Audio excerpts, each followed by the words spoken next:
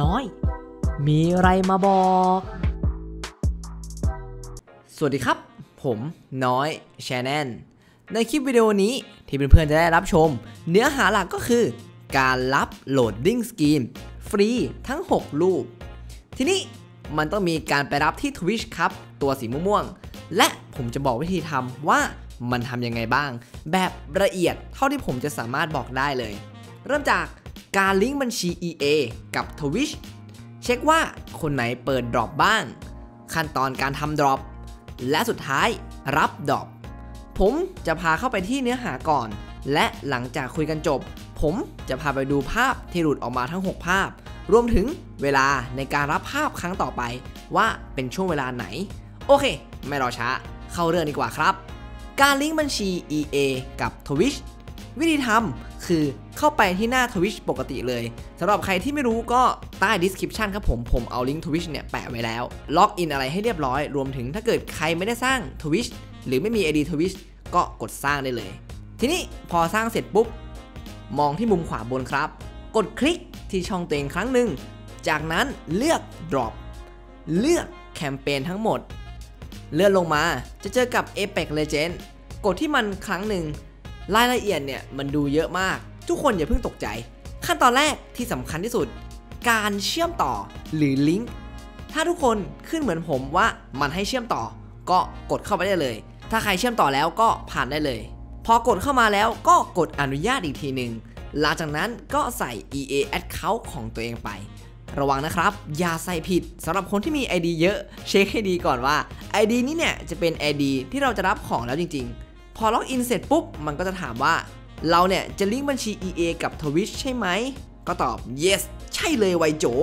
และมันจะขึ้นประมาณว่า มีบางอย่างผิดพลาด ก็ลองรีเซ็ตหน้า Twitch drop ดู ถ้ามันลิงก์แล้วมันจะขึ้นเลยว่าเชื่อมต่อแล้วแบบนี้แบบผม โอเค จบขั้นตอนลิงก์ทีนี้ขั้นตอนเอา drop ทุกคนเห็นไหมครับ เงื่อนไขมันคือ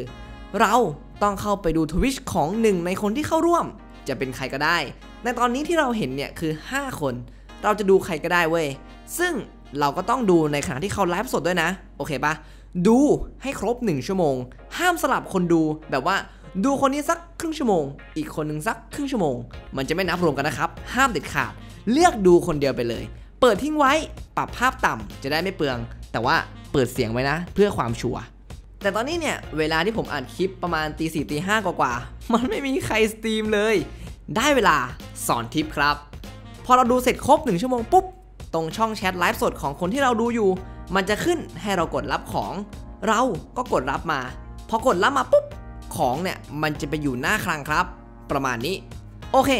จบสำหรับวิธีรับดรอปมาถึงช่วงเวลาที่ต้องรับภาพทั้ง 6 ภาพบ้าง ภาพมาครับ ในตอนนี้คือถ้านับวันที่ผมปล่อยคลิปคือวันที่ 6 มิถุนายน เราจะได้รับภาพแรกไป และในวันที่ 8-15 มิถุนายน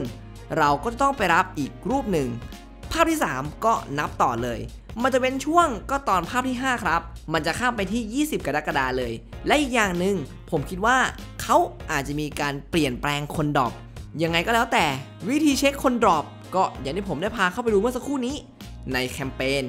มันจะบอกคน drop เอาไว้อยู่ เอาง่ายว่าทุกครั้งที่ทุกคนจะรับภาพ ให้มาเช็คคน drop ก่อน จะได้ไม่ดูเก้อ อีกเรื่องหนึ่งก็คือภาพที่มันหลุดออกมา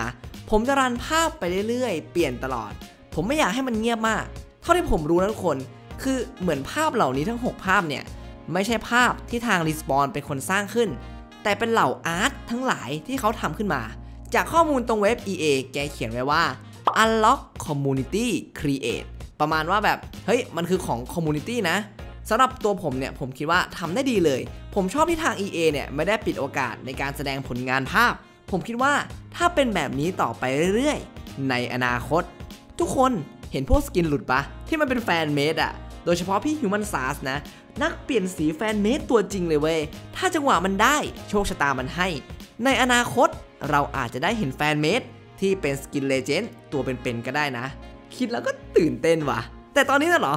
ขออย่างเดียวเลยคือเอา R เก้าเก้าสีชมพูมา คือแบบอยากได้มากแม่งน่ารักจัดเลยอะโอเคพอๆก่อน ก็น่าจะครบทั่วแล้วสำหรับคลิปวิดีโอวิธีการรับภาพ loading screen ทั้ง 6 ภาพ ถ้าชอบคลิปสาระน้ำดีแบบนี้ สามารถกดไลค์กดซับเพื่อเป็นกำลังใจให้กับช่องของผมได้เลย และก็สำหรับใครที่เป็นมือใหม่ Apex Legend อยากหาเทคนิคดีๆ เช็คที่ playlist ในช่องของผมได้เลยนะ ผมบอกเลยว่านั่งดูจนตาแฉะแน่นอน สำหรับวันนี้ผมต้องขอตัวลาไปก่อน สวัสดีครับ